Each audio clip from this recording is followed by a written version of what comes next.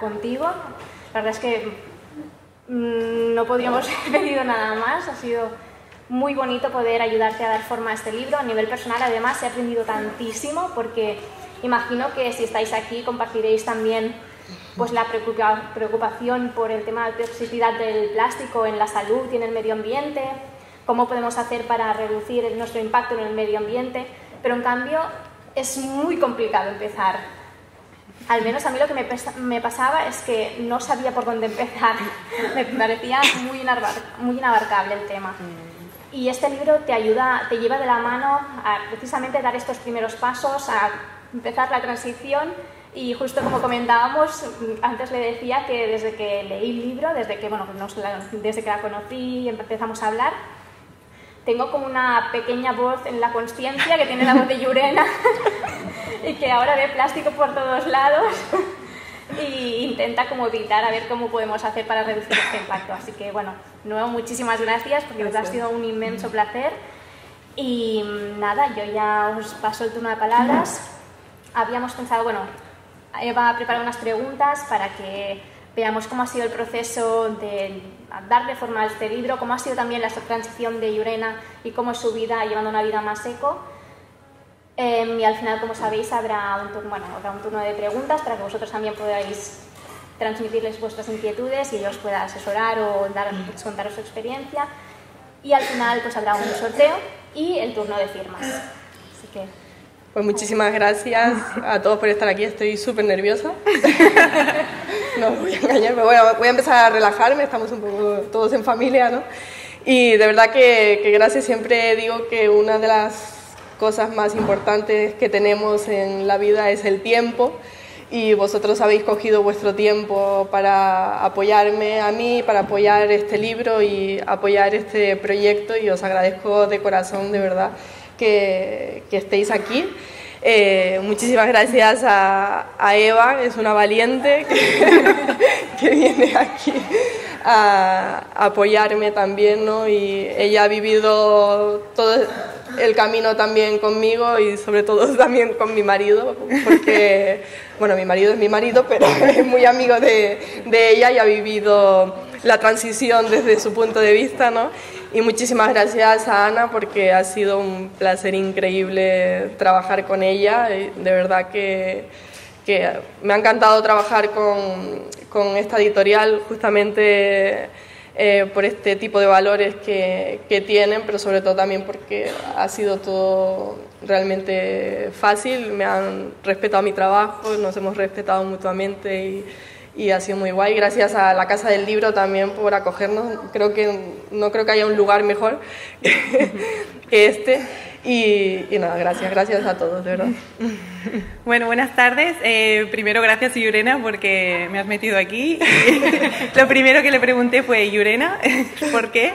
Porque bueno, nos conocemos de hace tiempo, ¿no? Y una vez me, siempre me preguntaba cosas del plástico y tal, porque yo he estudiado ciencias ambientales y yo le decía, pero esto a mí no me lo enseñan en la carrera, porque es verdad, o sea, te enseñan los problemas que tienes, pero no cómo sobrevivir sin plástico y Yurena de esto sabe un montón y me da mil patadas, sabe muchísimo. Entonces me dijo un día que si esto, luego si quieres hacer una colaboración en el blog, y digo, venga, qué honor, muchas gracias. Y escribí para el blog y luego me pidió esto y digo, aquí ya te estás pasando un poco de la raya, pero bueno, intentaremos hacer una presentación y, y bueno, preguntarte, ¿no? Y como ella ha dicho, yo conozco a su marido, Alex, que corre por ahí y tengo sus secretos que Yurena no sabe, cómo vivió él el tema del plástico, ¿no? Y siempre recordaré la primera frase de Alex que me dijo, Yurena se ha vuelto loca. Eh, y entonces la pregunta es, ¿cómo empezó todo, Yurena? ¿Qué pasó? Bueno, que sepáis que esto a mí no me lo dijo, de hecho, cuando leáis el libro veréis que mi marido me dijo solo, vale, yo le dije, quiero vivir sin plástico y él me dijo, vale. Pero después a ella le dijo que me había vuelto loca. Está bien saberlo y, creo que hoy voy a descubrir muchas cosas. o sea que está muy bien.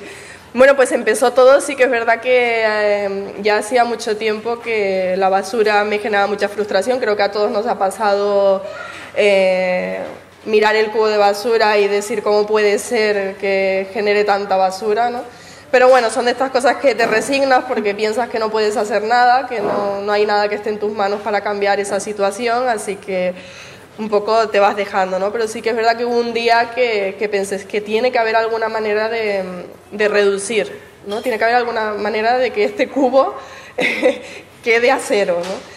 Y a los pocos días hubo una amiga que, mm, que compartió un artículo sobre la toxicidad de, del agua embotellada, justamente por los efectos del plástico, y fue ahí como, bueno, me obsesioné, me obsesioné porque en aquel momento eh, bueno, tengo dos hijos y mi hijo tenía cuatro años en aquel momento, mi hija tenía pocos meses y entonces leer todo lo que ocasionaba el, plástico en la salud me, me dejó en shock, ¿no? O sea, fue algo como no puede ser, ¿no? Y entonces en aquel momento mi hijo estaba pasando por una etapa de bueno, mm, tos y mocos y no sé qué, y no sé cuántas, muchas cosas que yo pensé que, que, le estaba afectando ¿no? también eh, el plástico en su salud y que, que a lo mejor, siempre digo, ¿no? pues a lo mejor tampoco era para tanto, pero, o quizás sí, pero a mí aquella obsesión me llevó a justamente decirle a mi marido, quiero vivir sin plástico, ¿no? Y en ese proceso que, que empecé a... Aquella obsesión me llevó a estudiar, a estudiar, a estudiar mucho sobre los efectos del plástico y cuando descubrí el efecto del plástico a nivel medioambiental fue todavía... todos los efectos que podía tener en la salud pasaron a un segundo plano, ¿no? ya no era tan importante para mí porque los efectos a nivel medioambiental eran muchísimo más, más graves que los que podía tener en nuestra propia salud y, y fue ese momento que yo aquí hay que hacer algo, ¿no? O sea, no, no podemos quedarnos con con, de brazos cruzados. Yo ya sentía que no podía mirar para otro lado, que no podía seguir con mi vida como, como si nada, ¿no? Y era el momento de decir, no sé cómo lo voy a hacer, pero lo voy a hacer. Un poco. Y empezaste entonces, lo primero que cambiaste de tu casa, ¿qué fue? Bueno, comencé lo primero, pues como me había leído el artículo este sobre el agua, y pues lo primero que cambié fue las botellas, que además es de las cosas que más más abundantes, ¿no? de, lo que más, y a la misma vez de las cosas quizás más, más fáciles de, de cambiar y empecé a hacer pues un poco el proceso de, de, A ver, al principio fue complicado porque hoy en día hay más información de cómo cambiar hábitos, pero eh, yo empecé hace unos tres años y en aquel momento, tres años parece poco, pero en realidad en tres años ha cambiado muchísimo. Eh, las cosas, hay muchísima más información ahora de la, que, de la que había antes y para mí fue complejo en el sentido de que es que no había información. Es claro lo que pasaba, que yo siempre, tú me decías, tienes que cambiar esto tal, pero no encontrabas la información y tú me dijiste, empiezo por las botellas de agua. Claro, era como... Mm, al final me di cuenta que no había inventado nada, ¿no? O sea, yo pensaba, se me ocurría una idea y guau, qué guay, ¿no? Se me ha ocurrido esto, pero después con el tiempo, mira, también se le ha ocurrido a no sé quién y a no sé quién y al final digo, pues solo tenía que volver un poco hacia atrás. A veces digo, creo que si le hubiese preguntado a mi madre de cómo vivían antes, ya me hubiese ahorrado muchos dolores de cabeza, ¿no?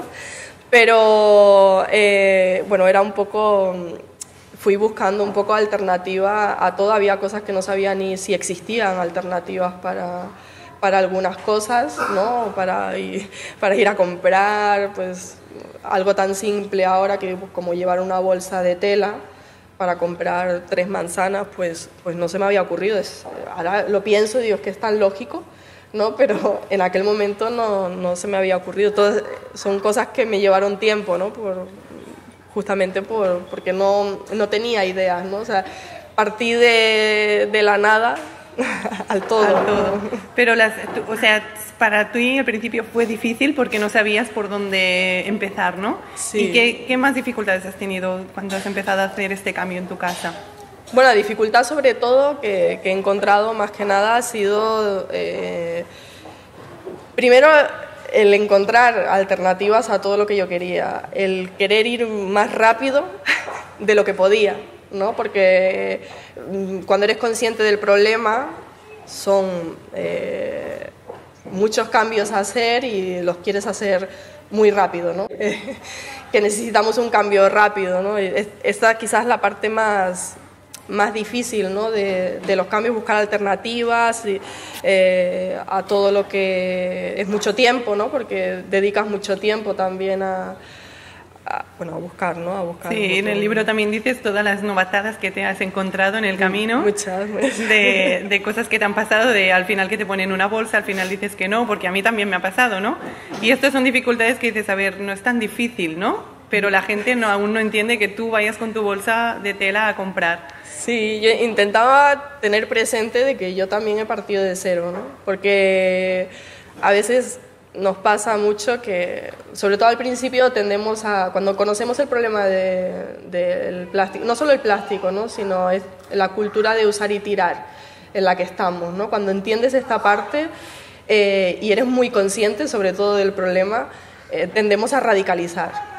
¿No? Y lo llevamos a los extremos, ¿no? Y de repente pues quieres coger a todo el mundo por el cuello y dices, pero es que no lo ves, ¿no? Y como, como si tú lo llevases viendo toda la vida, ¿no? esto, esto no es real, ¿no? O sea, solo hace tres días que me he enterado que el plástico es un problema, ¿no?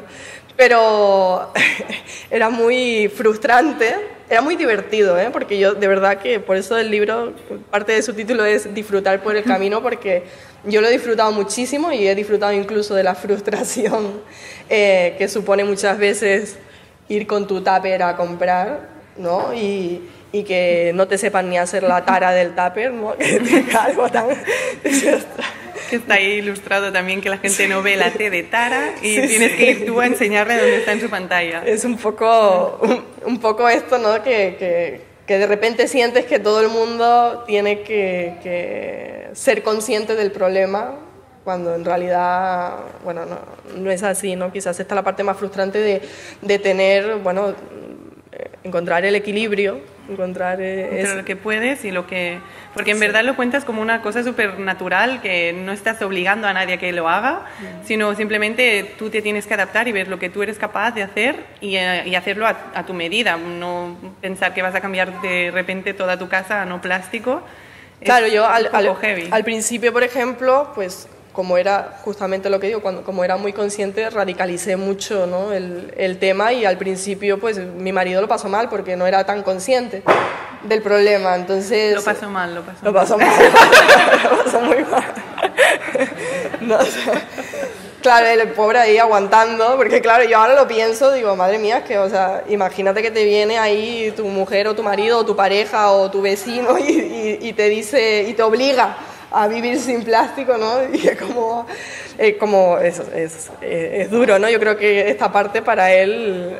está muy feliz, ¿eh? Ahora el pobre, estamos diciendo aquí que lo pasó mal, pero ahora lo, feliz, ¿eh? ahora lo ha superado. Lo ha superado, sí, sí. Porque ahora, ¿qué te ha aportado todo este cambio a tu familia? Que el cambio este de no plástico... vale.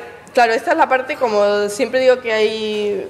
La basura en sí, bueno, es algo superficial, es basura, ¿no? O sea, no no, no, tiene más, ¿no? Pero sí que es verdad que he descubierto muchísimas cosas de mí, muchos cambios a nivel interior que jamás hubiese imaginado que iba a encontrar con este estilo de vida, ¿no? O sea, poder eh, practicar el agradecimiento como no lo había hecho antes, ¿no? Por ejemplo, o el poder observar más. O, para mí, siempre digo, lo digo en el libro también, ha sido un camino de desapego, porque tenemos un, un apego especial ¿no? a, la manera en, que consumimos. ¿no?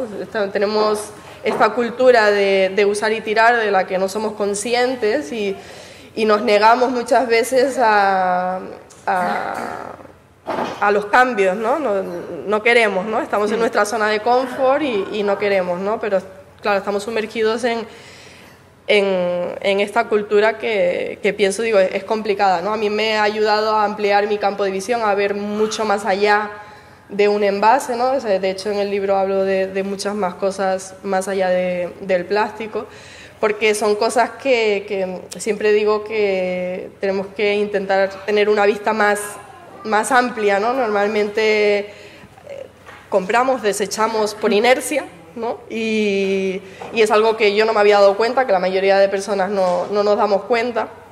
Y hoy he traído, he traído un vídeo porque quizás muchos lo habéis visto, es un vídeo de Greenpeace, porque justamente quería ayudaros a, a, si es posible, a través de este vídeo, a tener en cuenta eh, nuestros actos, dentro de nuestras acciones, eh, cada vez que consumimos, pues que siempre hay un antes y siempre hay un después, ¿no? Y, y siempre digo que tener en cuenta este antes y este después nos puede ayudar muchísimo a, a tener en cuenta si necesitamos esas cosas o no, ¿no? Entonces, permita, es un vídeo muy corto, de un minuto y medio, es de Greenpeace y... Hace 4.500 millones de años una nube de polvo estelar colapsa en el espacio, formando una nebulosa solar de la cual nace un planeta, la Tierra. Durante 2.000 millones de años este planeta evoluciona y aparece la primera forma de vida. Una sopa de células, bacterias, algas, hongos, miles de plantas cobran vida. Los peces reinan en los océanos y se comen las algas, absorben la luz solar y la almacenan en sus cuerpos. Dinosaurios, anfibios, reptiles, pájaros y mamíferos, todos viven y mueren. Y cada año los cuerpos sin vida son cubiertos por capas y capas de sedimentos. El calor y la presión aumentan, convirtiéndolos en un líquido amarillo y negro, petróleo. Llegan los humanos y con ellos los geólogos estudian durante años la forma de encontrar petróleo y construyen plataformas petrolíferas en lugares remotos. Bombas gigantes extraen el líquido y lo envían alrededor del mundo. Se abren refinerías y vuelven a viajar. Una fábrica combina los componentes y los convierte en bolitas de plástico. Almacenadas en grandes contenedores vuelven a viajar por todo el mundo. Transformadas en líquido las moldean con la forma de una magnífica cuchara. La cuchara cae y se enfría hasta endurecerse. Envueltas en plástico se ponen dentro de una caja y la caja en un palé y el palé en un contenedor y el contenedor en un camión. Y el camión se conduce hasta un puerto donde se coloca el contenedor en un barco. Y viajando y viajando la cuchara recorre 6.000 kilómetros alrededor del mundo donde lo recoge un comerciante y lo pone en un camión que conduce hasta una tienda donde coloca la cuchara en una estantería en una habitación con la temperatura controlada, donde se queda durante dos meses hasta que la recoges y pagas por ella con el dinero por el que has trabajado tan duro y te llevas la cuchara a casa, que es donde estás ahora con la cuchara en la mano. Y ahora dime, ¿sigues pensando que es mucho esfuerzo usar una cuchara de metal que solo tienes que lavar?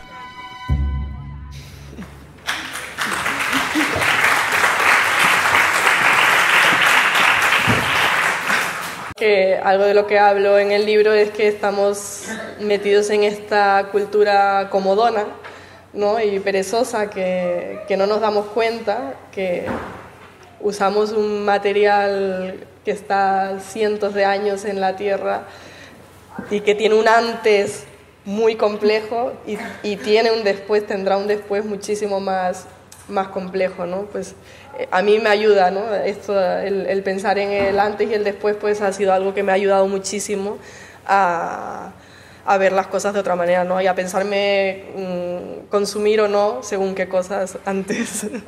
Y, y, luego cuando ya hiciste todos tus estudios, viste que funcionaba, que no, ¿por qué empiezas a, a dices, voy a hacer un blog y voy a contárselo a la gente? ¿Qué, ¿Por qué necesitas contárselo al mundo esto? Bueno, primero porque es... En mi, en, cuando yo empecé dediqué tanto, tanto, tanto tiempo que, dije, mira, si hay alguien que está muy motivado como yo, genial. Pero es que cuánta gente hay súper, súper, súper motivada. O sea, mmm, se necesita mucho tiempo. Entonces pensé, mira, voy a abrir un blog porque esto tiene que llegar a todo el mundo, ¿no? Porque es algo que es importante que, que todos hagamos cambios, ¿no? Y que vayamos cambiando. Pero necesito dar herramientas a las personas para que sea lo más fácil y rápido posible, ¿no? O sea, para que todo lo que eh, yo en su día invertí en tiempo, pues los demás pudiesen ahorrarse, lo que de hecho es el mismo objetivo también que, el libro, ¿no? Porque al final era algo como eh, si la gente tiene que dedicar tanto, tanto tiempo. A mí ahora una de las cosas que me ha aportado este estilo de vida ha sido tiempo y calidad de vida, ¿no?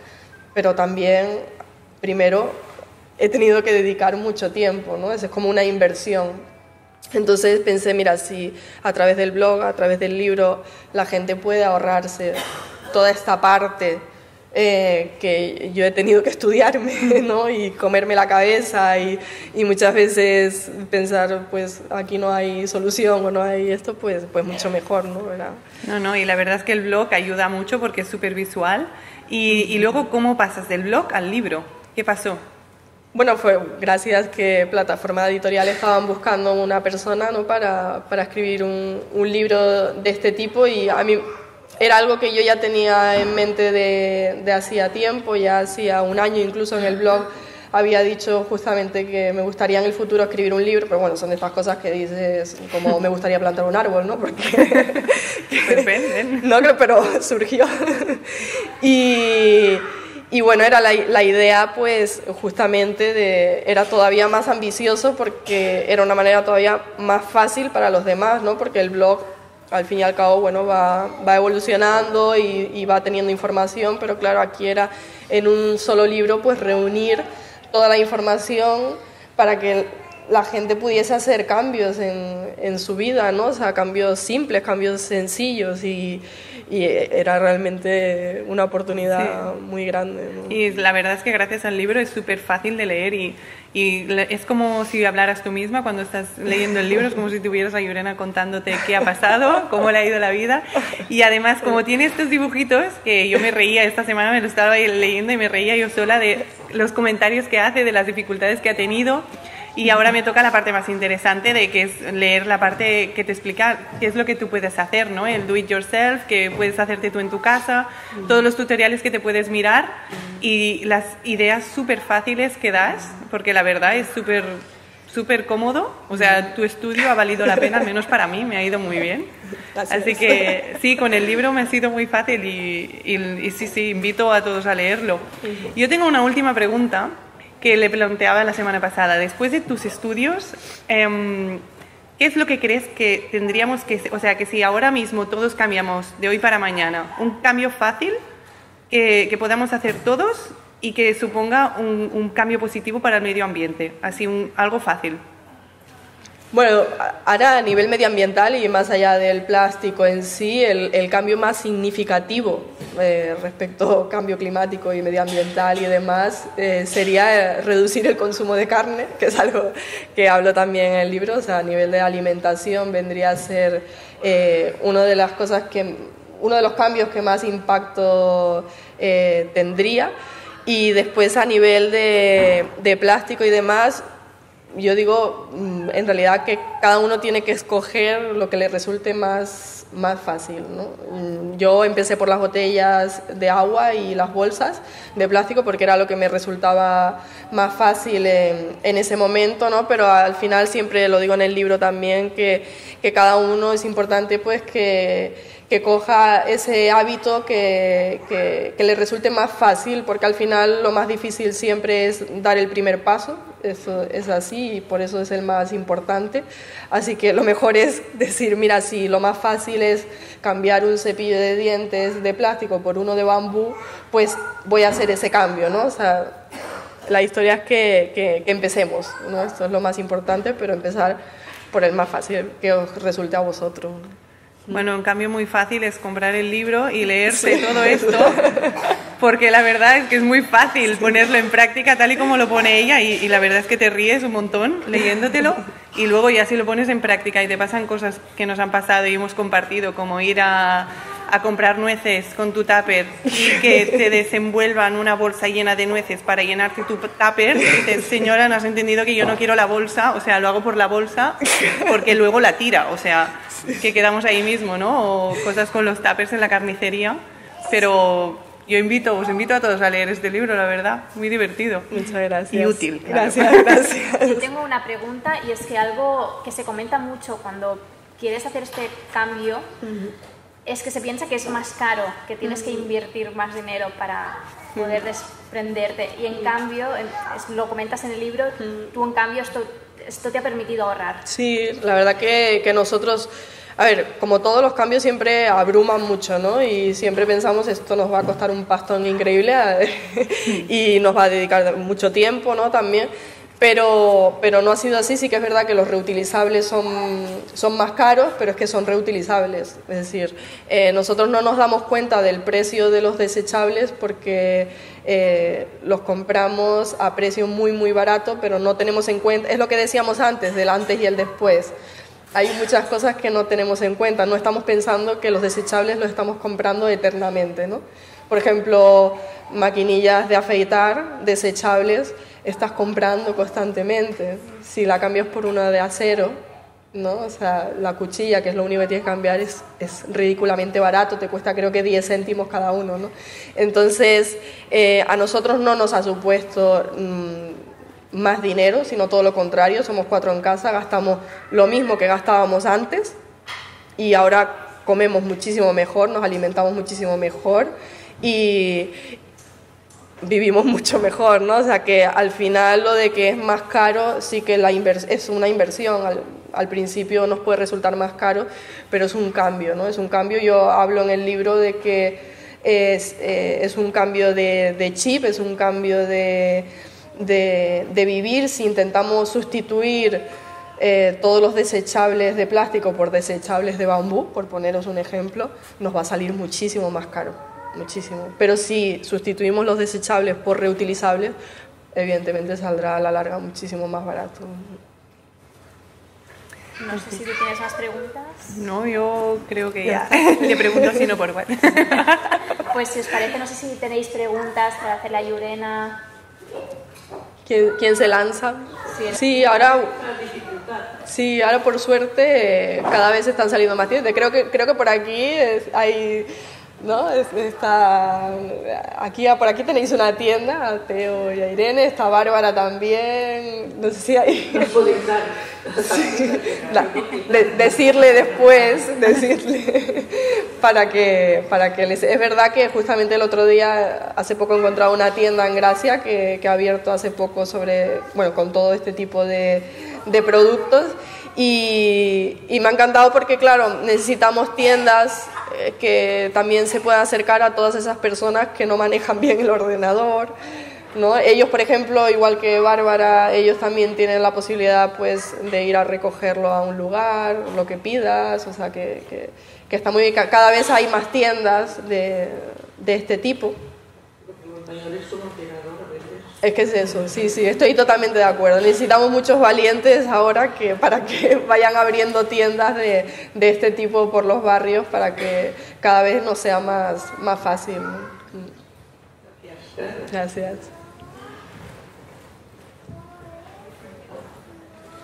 ¿Qué agua bebes? ¿La compras o bebes del grifo? Yo bebo agua del grifo y tengo un filtro en el, en el grifo. Esta fue algo que, que, tardé mucho tiempo en, fue de esas cosas que invertí muchísimo tiempo.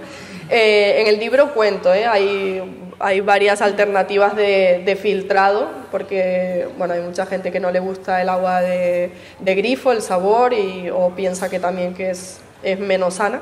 Esto no es, no hay ningún estudio que diga que es menos sana, lo que pasa es que el sabor no, no nos gusta, pero hay filtros eh, que se instalan, por ejemplo, se instalan en el, en el propio grifo, son filtros muy, muy pequeñitos y ahí pues rellenas pues tu, tu propia botella, puedes ir rellenando cada vez que, bueno, cuando vayas a salir de casa o cada vez que vayas a beber.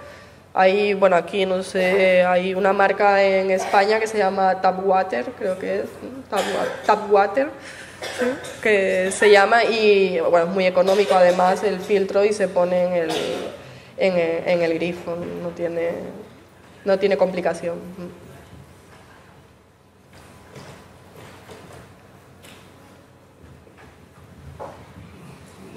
Hola. enhorabuena lo primero. Muchas gracias. Bueno, yo quería comentarte que yo estoy un poco en el lugar de tu marido. Mi pareja un día decidió que, que no quería vivir con plástico y que no iba a consumir ningún producto que, que tuviera plástico. Lo primero, te quería preguntar eh, si en el libro no lo leyó eh, hay algo, o sea, nos muestra la motivación suficiente que hay que tener para realizar ese cambio, porque en su caso, cuando íbamos a hacer la compra, él tenía que cambiar muchas marcas a las que estábamos acostumbrados para no consumir ese plástico. Y luego también has comentado que tú ahorrabas, bueno, que ahorrabas porque no te suponía un gasto extra esta decisión. En, bueno, lo que yo he visto en él y en el cambio que estoy haciendo, en nuestro caso no es así, porque por ejemplo la leche le intenta comprar en tarro de cristal, mm. yo llevo en tarro de cristal, entonces son muchos productos, comprar a granel en tiendas que son pequeños comercios, los que hay, suele, nos suele costar más de lo que habitualmente nos costaría una compra habitual. Entonces también preguntarte cómo lo haces. Y bueno, él a día de hoy no consume nada, nada, nada de plástico, yo la verdad que lo, lo admiro bastante, pero te quería preguntar tu nivel de radicalización en ese aspecto, cómo va. Eh, me, me he quedado un poco en blanco otra vez. Me dice solo la pregunta.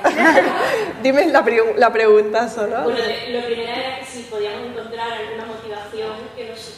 Que vale, sí.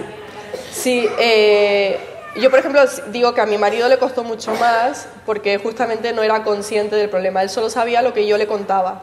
¿No? que imagino que es lo que, lo que te pasa a ti. ¿no? Entonces, para él justamente este fue el motivo por el que le costó más. ¿no? Cuando yo te, animaría a concienciarte del problema, a estudiar el, el, problema realmente e interiorizarlo, porque una vez que eres consciente te va a ser muchísimo más fácil eh, realizar estos cambios, ¿no? porque ahora mismo hay como un desnivel quizás entre tu pareja y tú a nivel de conciencia en este sentido, porque eh, claro, cuando eres consciente y eres consciente del problema, no te importa hacer cambios, ¿no? No, no, no tienes límites, pero cuando no conoces es, se, puede hacer muy frustrante y un camino bastante doloroso y, bueno, en, lugar de apoyar, pues puede surgir el efecto contrario, ¿no? Entonces te animo a que, te informes, que con el libro también tienes mucha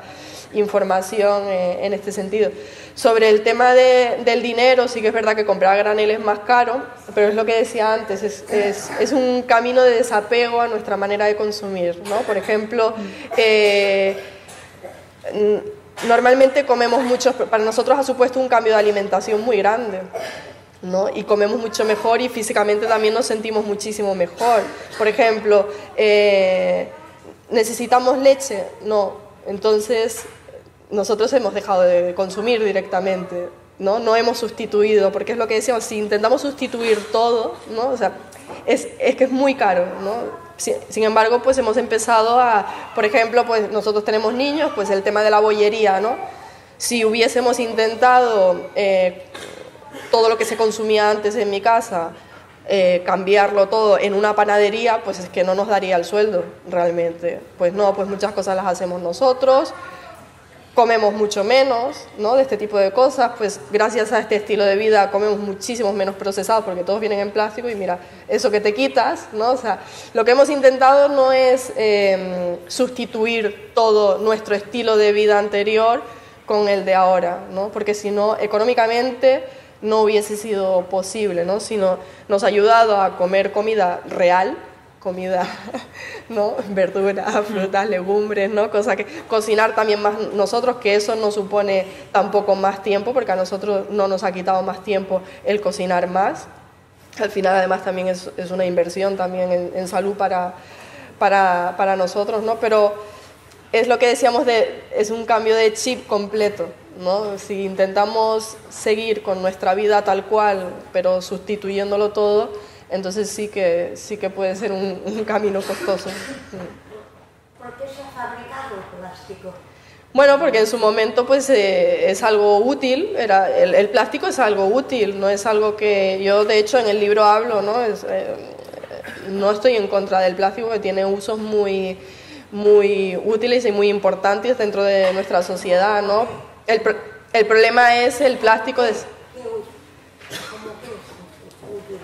Bueno, por ejemplo, de, pues dentro del transporte, ¿no? dentro del transporte, dentro de un avión, pues gracias a que se utiliza plástico en los medios de transporte, como son coches o aviones o demás, se permite que, eh, gracias a su ligereza, pues que pese menos y se ahorre combustible, por ejemplo, ¿no?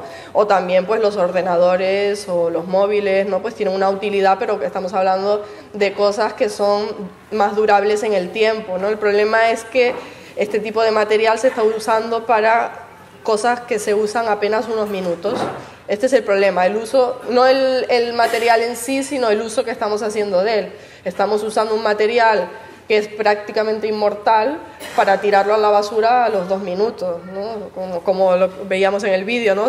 una cuchara de plástico con todo lo que tiene eh, antes y después, pues dos minutos y, la tiras, ¿no? Este es el problema, ese, el uso que estamos haciendo de, este material, ¿no? Es, este es el cambio que necesitamos hacer.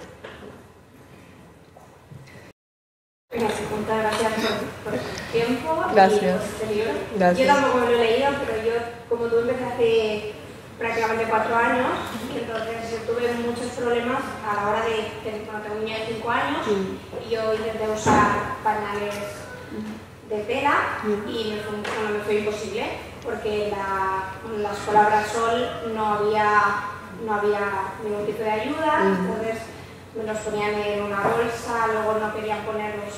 Yo les dije, yo quiero los que haga falta, pero yo no quiero pañales de un solo uso no, no hubo ayuda. Ah, se, negaron, o sea, se negaron a no usar toallitas en general los dos años.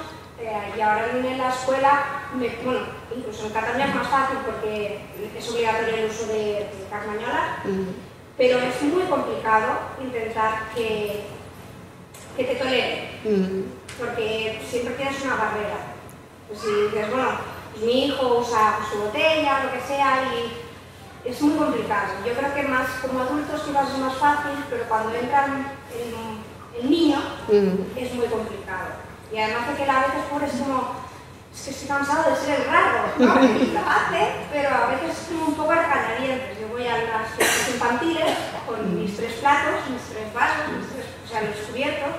Entonces es como, yo uso mi plato, pero a veces como que da un poco de vergüenza, que todos sus amigos usan platos de un solo uso y él es Vale, yo sé por qué lo estoy haciendo, pero mamá, déjame, por favor, yo, uso este y ya está. Entonces, yo creo que a veces la sociedad ta- también te dificulta un poco las cosas.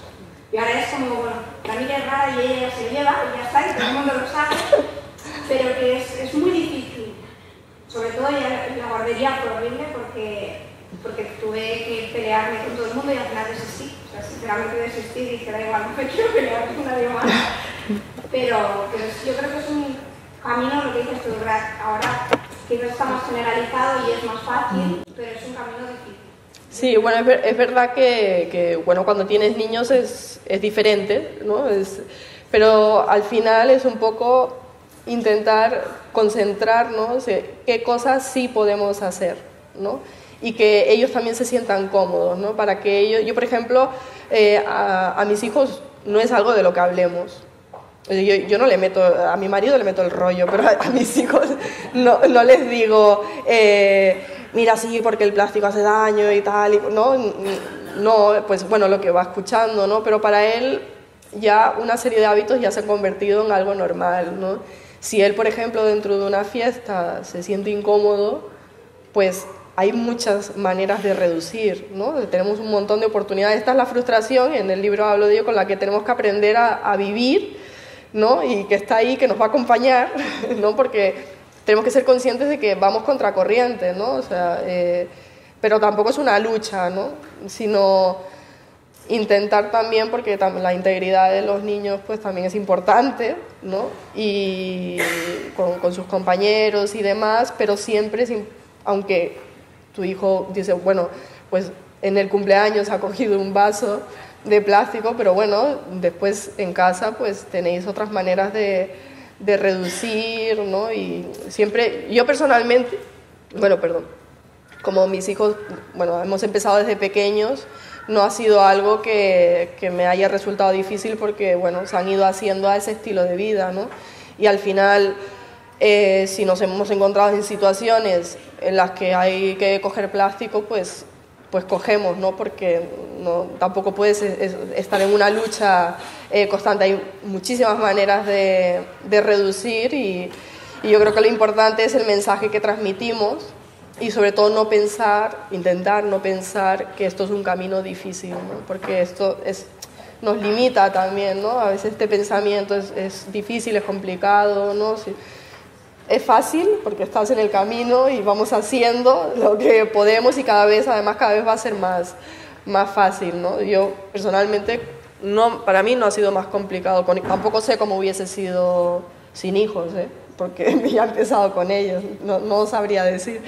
Pero, pero yo creo que todas las personas tienen sus dificultades, el que no tiene hijos tiene perros, el que no pues convive con su madre que está súper eh, enganchada al plástico, el que no vive con compañeros de piso que... No, o sea que todo el mundo tiene sus dificultades y sus retos. Y yo creo que eh, personalmente por lo que he vivido, creo que es importante que tengamos este tipo de dificultades para no perder el equilibrio, ¿no? justamente porque tendemos a radicalizar mucho y gracias a, a, este tipo de dificultades son las que nos mantiene un poco con los pies en, en, la tierra, por lo menos es lo que yo he vivido y lo que he sentido y, he agradecido pues que no todo eh, fuera tan perfecto como me hubiese gustado.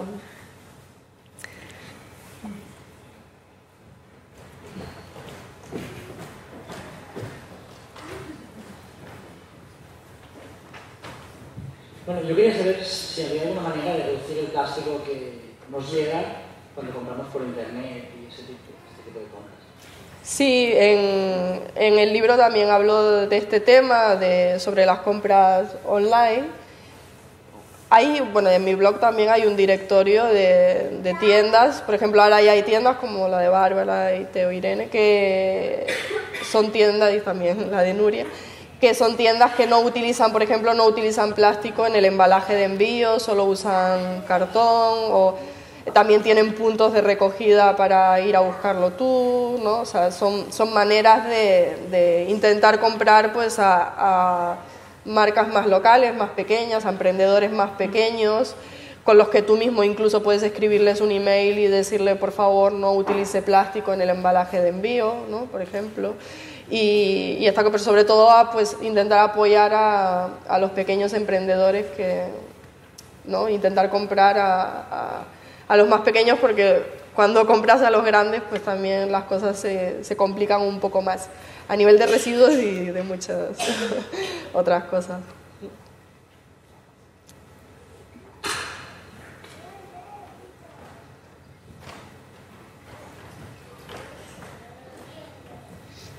Hola. Eh.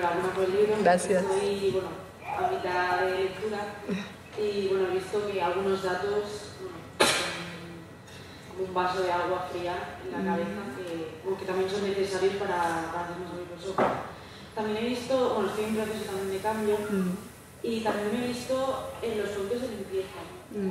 que son muy difíciles de... Bueno, sí que hay tiendas también que venden a productos para limpieza de, ropa y demás, pero bueno, si tú te has hecho, por ejemplo, un, producto no similar, pero por ejemplo energía o... Sí, ahí justo en el libro hay un capítulo sobre productos de limpieza, cómo limpiar la casa en este sentido, bueno, sin, sin plástico, sin envases. Hay tiendas a granel, tiendas a granel de, de detergentes, de jabones, y, igual que las hay de comida, también las hay de, de este tipo. Pero una de las cosas que hablo muchísimo en el libro es sobre todo de simplificar, ¿no? Porque ahora nos han vendido que necesitamos un producto para cada esquina de la casa. ¿no? Yo, de hecho, yo soy de esta de que cuando me independicé me compré, no sé si os acordáis, o a lo mejor todavía están, las toallitas húmedas estas que son eh, una para la televisión, otra para la cocinilla, otra para el mueble de, de la esquina de la casa, otra, bueno, pues yo me las compré todas, ¿no? Yo tenía toallitas para toda mi casa. Y, y bueno, nos venden un, poco esto. Primero necesitamos hacer un reset eh, esto es súper importante, eh, reiniciarnos porque, mm, y, y poder simplificar. ¿no? ¿Cuántas cosas necesito para limpiar mi casa? Yo, por ejemplo, lo digo en el libro, prácticamente mi casa se limpia con vinagre y bicarbonato, que es mucho más potente que cualquier lejía que, que hay, ¿no? Pero sí que hay otro, ah, bueno, hay tiendas a granel donde puedes encontrar pues jabón para los platos y yo caí en la novatada y me quedé sin tiempo para nada, ¿no? y encima todos me salían fatal, ninguno me funcionaba. Yo que soy apañada, pues no, me, quedaban todos fatal, ¿no? Y fue ahí también pues que me ayudó a reflexionar, de decir, a ver, si hay tiendas donde yo puedo ir con mi propio recipiente a comprar, ¿por qué me estoy complicando la vida de, de esta manera? ¿no? Y además, mira, apoyo a esas personas. Si hay algo que lo puedo simplificar con algo que, que, que pueda hacer yo misma, que me lleve poco tiempo, ¿no? De hecho, en el libro hay varias recetas de cosas que hago en cinco minutos, que no me suponen ningún esfuerzo, pero cosas que me resultaban más complejas, como hacer el jabón de, mm, para lavar la ropa, pues digo, mira, no, y, ahora lo compro a granel, por ejemplo, ¿no? Pues otras personas eh, dicen, bueno, pues a mí no me supone un esfuerzo hacer el jabón, pues genial, ¿no? Pero sobre todo, pues encontrar el equilibrio, primero simplificar qué es lo que realmente necesito y después encontrar ese equilibrio, porque también si nos dedicamos a hacer demasiadas, demasiadas cosas, pues olvidamos que tener, dedicar ese tiempo pues para lo que realmente importa. El plástico cuando se quema desaparece, ¿no? No, ojalá. Ojalá. No. no, el plástico lo que le pasa tanto cuando se quema como cuando se, se, empieza a degradar es que se convierte en microplásticos. Son partículas muy, muy pequeñitas que pueden llegar a ser imperceptibles al ojo humano y esto se queda en el medio ambiente, es lo que respiramos, lo que comemos. y está, bueno, de hecho... Eh, en el agua de grifo, 90% del agua embotellada contiene microplásticos, el 80% del agua de grifo, en la sal, las verduras, en el aire está realmente ahora mismo comemos plástico y respiramos plástico por todos lados, justamente porque es un material que nunca llega a desaparecer del todo. Y si se quema además eh, el tema del cambio climático es un gas efecto invernadero. Sí, bueno, aparte el, el, el, problema del plástico es que contiene muchos aditivos que no están adheridos al plástico en sí. Entonces, por ejemplo, cuando se incinera este plástico o cuando lo usamos, pues eh, se expande, ¿no? Y todos estos aditivos, metales pesados y demás, pues es lo que se va con la quema. Hola. Ah, vale. Mm, veo, o sea, lo que estás planteando sí que tiene un buen, o sea, el horizonte es complicado porque la gente no estamos acostumbrados a, a quizás no los hábitos que hemos Hmm. aprendido de, de cambiar estos hábitos como veo aquí, la gente lo intenta y lo difícil que lo- y las pruebas que tiene. Mm, No, no es también más fácil orientar a la gente hacia el reciclaje total del plástico. Pues mira, te agradezco un montón que me hagas esa pregunta porque, porque es verdad que no habíamos hablado del reciclaje y la verdad es que me encantaría decirte que sí, que reciclando pues eh, todos los problemas de nuestra vida se solucionarían, pero la verdad es que el reciclaje es muy, muy, muy ineficiente, especialmente en el plástico. De hecho, eh, solo, se solo se ha reciclado hasta hoy, de todo el plástico que se ha fabricado, solo se ha reciclado el 9%.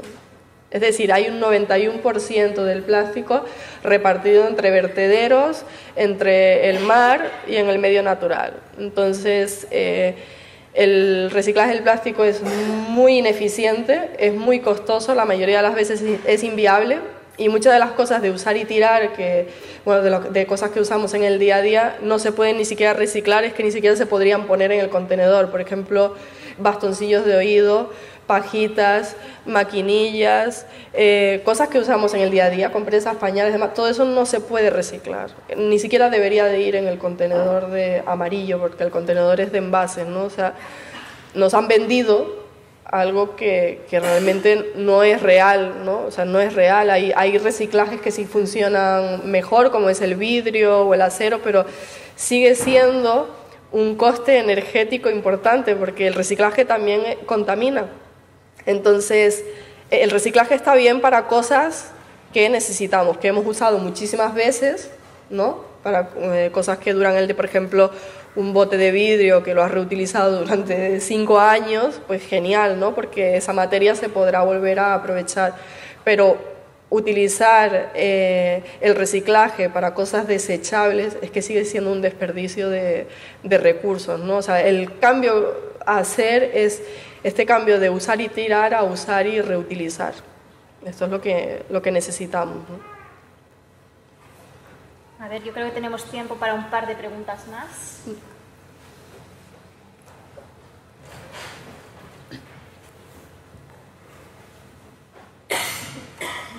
Hola, buenas Hola. tardes. Eh, me preguntaba, como siempre todo acaba siendo educacional. Las escuelas tienen un papel importante, ¿no? Sí, sí, en este sentido ahora necesitamos apoyar a las escuelas para que haya un cambio. Sí que es verdad que las escuelas mm, tampoco pueden hacer milagros si no hay un cambio desde casa, ¿no? O sea, y de los estamentos. Sí, yo por ejemplo en, eh, en el libro me centro ¿no? en lo que podemos hacer cada uno de nosotros, ¿no? porque ahora mismo lo que necesitamos es que a nivel de sociedad eh, empecemos a cambiar nuestra manera de actuar, porque es algo que tarde o temprano tendremos que hacerlo.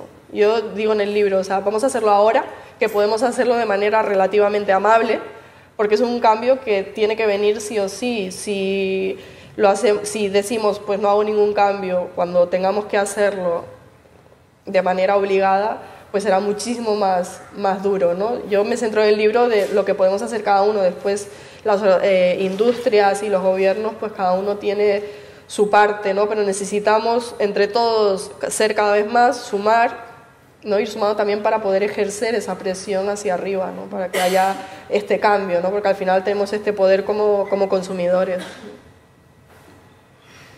Y última pregunta. Sí, así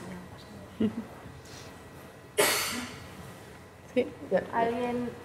A ver. Bueno, venga, vais. Aquí ya tus preguntas y ya. Buenas, eh, buenas tardes. Yo quería comentar que, bueno, ah, yo también estoy intentando hacer cambios en mi manera de, de los materiales que utilizo en casa, pero eh, una cosa que creo que es interesante es que sí que pienso que hay un cambio a nivel de sociedad y que poco a poco pues está habiendo cambios, porque por ejemplo yo trabajo en una empresa grande, trabajo en Cruz Roja, y a todos los trabajadores nos han repartido una botella de cristal. Para que no utilicemos botellas de plástico y han quitado todos los vasos las cafeteras y que utilicemos las tazas. Que es algo de hecho, muchos trabajadores se han quedado muy sorprendidos y a algunos no les ha hecho nada de gracia, pero creo que, mira, si las empresas grandes ya se empiezan por ahí, pues todos los trabajadores ya van transmitiendo esa filosofía en sus casas. Sí, Entonces, pienso que sí, tenemos que estar esperanzados de que algún cambio sí que está habiendo. Sí, está claro que ahora, además, eh, lo bueno es que los medios de comunicación eh, se han hecho eco del problema del plástico, ¿no? Esto es súper importante, ¿no? Ahora está saliendo en televisión, en radio, en periódicos, entonces esto la gente ya empieza a exigir un cambio y ya lo estamos viendo, estamos viendo pues esto que dice de empresas, ¿no? también a nivel de organizaciones se están haciendo eh, muchos cambios porque es lo, lo, que decíamos, es que es un cambio inevitable al que vamos a tener que dirigirnos sí o sí. Entonces eh, yo bueno, tengo mucha esperanza, por eso escribí el libro y, confío en el poder que tenemos también como individuos ¿no? para, para, ejercer este, este cambio hacia arriba también. Había una chica. Sí. Bueno, primero todo, felicidades por el libro, me está gustando mucho. Muchas gracias. Y segundo, bueno, yo empecé ese cambio hace unos meses y como explicas muy bien, pues al principio te radicalizas mucho y recuerdo tener muchas discusiones con mi familia o mi pareja de momento y era un poco como decirles de manera amable que lo que están haciendo, pues se estáis siendo el planeta. bueno, una de las cosas que esto hablo al final del libro, ¿no? Es que es importante que no olvidemos que nosotros también éramos así, ¿no? O sea, que mantengamos presente de dónde venimos nosotros, ¿no? Porque nosotros también ignoramos el problema y, hay que aceptar que nos guste o no, pues cada persona tiene su ritmo, como todo en la vida, ¿no? Esto no es, no es muy diferente, este estilo de vida como cualquier otro, ¿no? Que, que es verdad que a todos nos cuesta hay mucha gente que le cuesta concienciarse, pero al final es un tema de, de ser un ejemplo para ellos, intentar no esperar nada, ¿no? O sea, yo, por ejemplo, siempre actuaba en el sentido de cuando ya dejé de llevar las cosas a los extremos, ¿no? cuando empecé a relajarme un poco, fue cuando dije, bueno, voy a hacer un ejemplo, a hacer yo las cosas. ¿no? Yo misma me comprometí a hacer las compras y, y hacer todo lo que pudiese, ¿no? Y, y, al final, pues, mi familia se fue sumando, ¿no? De manera natural, sin, sin yo pedirle, ¿no? Y tuve mejores eh, resultados cuando hice esta parte que cuando estaba radicalizando ¿no? al principio que, que estaba viendo ya un rechazo ¿no? por, parte de la familia. ¿no? Entonces al final pues uno tiene que concentrarse en los cambios, ¿no? en tu caso pues concéntrate en, tu, en tus cambios tú, que tú puedes hacer y, y los demás te irán viendo ¿no? y, y verás cómo, cómo las cosas van a ir cambiando sin esperar nada porque no sabemos cuándo es el momento de cada uno, pero, pero intentar eh, tener esto presente siempre. Vale, pues muchísimas gracias a todos. Gracias.